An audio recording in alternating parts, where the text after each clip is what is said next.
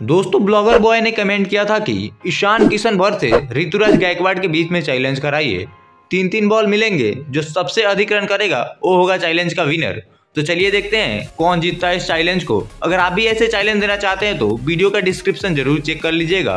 पहले बल्लेबाजी करेंगे ऋतुराज गायकवाड़। तीन गेंदे मिलेगी इन्हें। पहली गेंद खेलने के लिए तैयार है ऋतुराज गायकवाड़। पहली गेंद और देखते हैं। भाई, ये थर्ड मैन के ऊपर से खेल दिया है बॉल बाउंड्री के बाहर चली जाएगी एक टप्पे के साथ। चार रन के लिए दूसरी गेंद।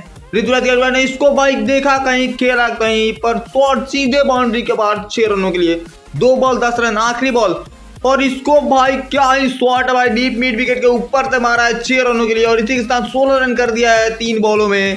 अब ईशान किशन को तीन बॉलों में सत्रह रन की है ज़रूरत। क्या जीत पाएँगे ईशान किशन? सत्रह रन चाहिए तीन गेंदों में ईशान किशन को। चलिए देखते हैं, पहली गेंद होगी ईशान किशन तैयार होते हुए पहली गेंद के लिए। और पहली गेंद होगी यहाँ पे गुड लेंथ पे है और आगे निकल के ज़बरदस्त शॉट खेला है और बॉल बाउंड्री के बाहर छह रनों के लिए पहली बॉल पे छक्के के साथ शुरुआत। दूसरी बॉल एक लेंथ पे गेंद है और भाई ज़बरदस्त शॉट है भाई, ये पूरा लॉफ्टेड शॉट खेला भाई। और दो बॉल बारह रन, आखिरी बॉल पे पाँच रन और इसको भाई साहब स्वीप कर दिया है झाड़ू शॉट के साथ। मैच को खत्म किया चैलेंज अपने नाम किया। दोस्तों, अगर वीडियो पसंद आई हो तो चैनल को सब्सक्राइब करके वीडियो को लाइक कर दीजिएगा और अपना कमेंट कीजिएगा जो आपको चैलेंज करवाना हो।